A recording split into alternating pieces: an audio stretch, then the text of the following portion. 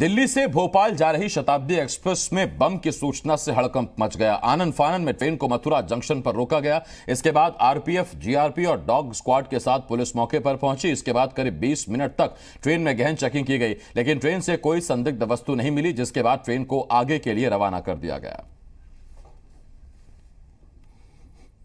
इस सूचना पे, मथुरा कंट्रोल पे RAF GRP, civil police dog squad B D D S team सारी टीम ने ज्वाइंटली लोगों को सचेत करते हुए ब्लैक लाइन से दूर रहने